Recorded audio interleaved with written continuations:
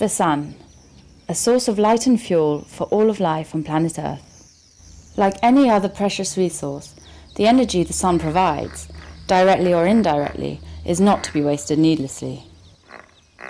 Animals rest or sleep as much as they can whenever possible, some more so than others. Yet, when the need arises, these animals can spring into motion.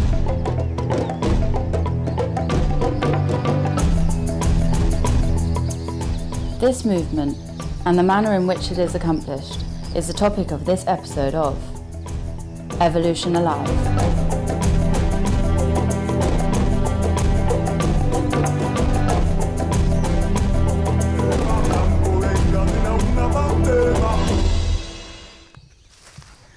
The way that all of these animals move is dependent on their form, specifically the structure of their legs. The form of their legs is in turn dependent on their function in a certain environment. Form fits function, and function fits form. The form of my leg, for example, is designed to function as a sturdy pillar to support my body. Because people only have two legs, the muscles of these legs have to be strong, as do the bones. Our feet must also be strong and spread out to distribute all of our weight evenly. Evolution has shaped the human leg so that it can fulfill this specific function. Other animals have legs of very different structure and form because they serve a very different function. One such animal is the one standing right behind me, the zebra.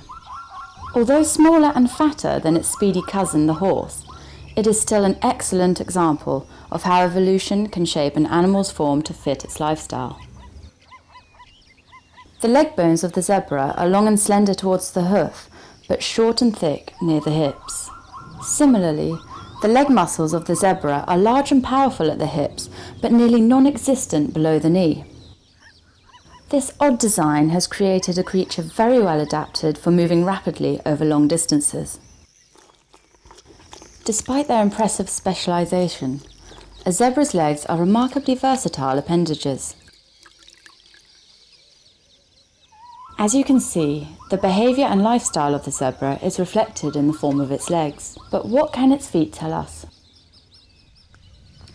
Feet can also give us a clue as to how the animal behaves. Footprints or tracks can also give us a clue as to how those feet are shaped. Here you can see the shape of the zebra's hoof.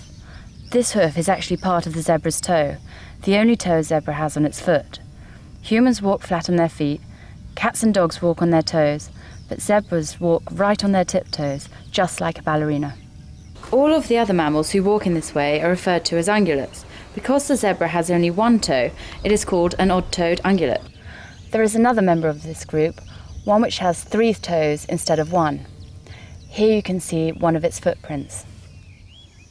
Despite their close evolutionary relationship, the rhinoceros has diverged considerably in form from the zebra, due entirely to the evolutionary pressures that have shaped it. The foot of the rhino is large and broad, with a thick fleshy pad positioned behind its three toes.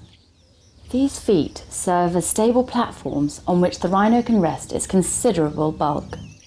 These feet also work as shock absorbers, for when a rhinoceros is angry or frightened, it can move its heavy body at surprisingly fast speeds. The legs also aid in supporting this wide range of rhino locomotion. Unlike the zebra, the leg muscles of the rhinoceros are strong and broad from hips to toes. The same goes for its bones, which are thick and robust throughout the leg. In the rhinoceros, we can see an organism well designed for moving a large body at a variety of speeds.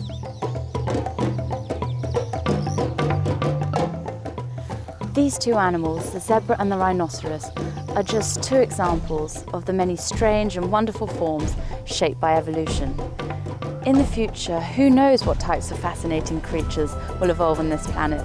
Who can predict what forms of fleet feet and lumbering limbs will set these animals in motion?